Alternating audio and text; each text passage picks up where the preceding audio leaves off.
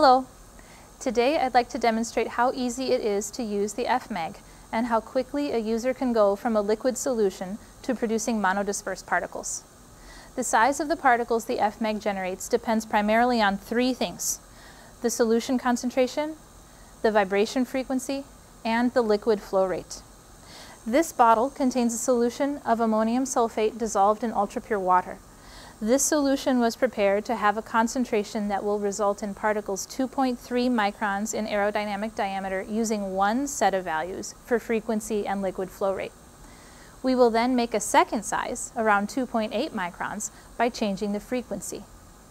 Lastly, we'll leave the frequency the same, but we'll change the liquid flow rate, and that will result in a third size of around 4.7 microns. First, I'll draw this prepared solution into the syringe.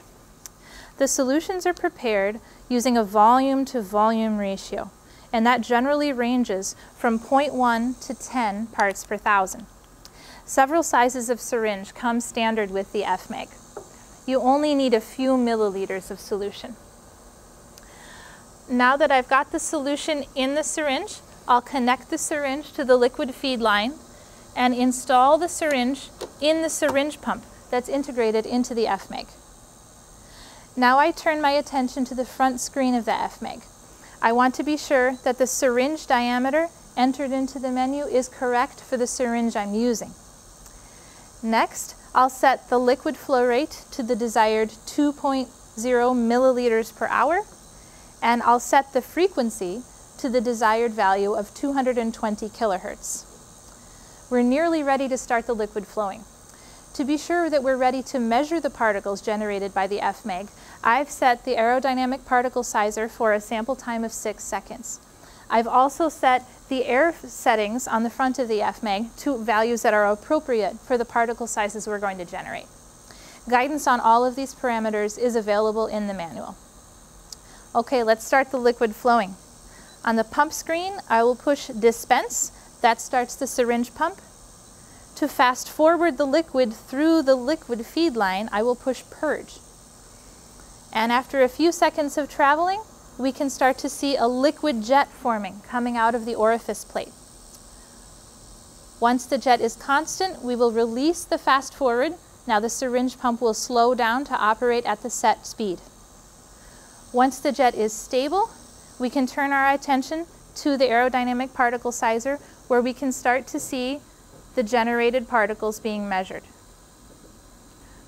Our target was 2.3 microns, and we can see that the mode size is right around 2.3 microns. For our second particle size, I want to change the frequency from 220 kilohertz to 130 kilohertz. These less frequent perturbations will result in larger droplets and those larger droplets will dry into larger particles.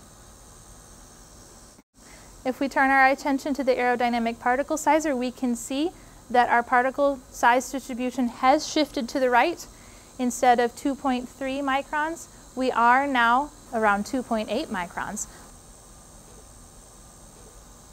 For our third peak, I'd like to change the liquid flow rate from 2.0 to 6.0 milliliters per hour.